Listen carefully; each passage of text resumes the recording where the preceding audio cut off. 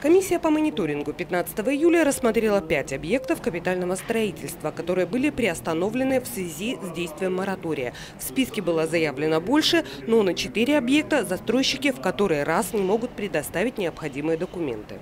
Информирую к сведению, прессу информирую. То есть эти объекты готовы рассмотреть по заявлению, но на сегодняшний момент не готовы.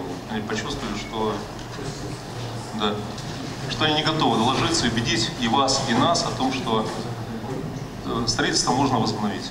Из представленных объектов меньше всех нарицаний вызвала стройка кооператива «Геракл». Здесь почти полностью решен вопрос с парковкой. Благоустройство и зеленую зону застройщики собираются выполнить по согласованию с владельцем смежного участка. Продолжение работ утверждено при условии, что в двухнедельный срок все необходимые согласования поступят в комиссию. Комплекс многоэтажных домов в микрорайоне Омега-2А представил заявитель «Еврофутур Крым» состоит из 18 жилых домов и одного паркинга на 500 э, машиномест, что полностью покрывает э, потребности данного массива в паркоместах согласно нормативам Российской Федерации.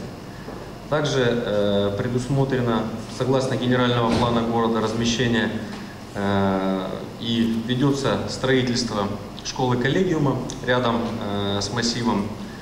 Также по генеральному плану предусмотрено в зоне доступности э, проектирования строительства детского сада. Здесь на схемах э, указаны зоны, проектируемые сооружения находятся в пределах зон доступности.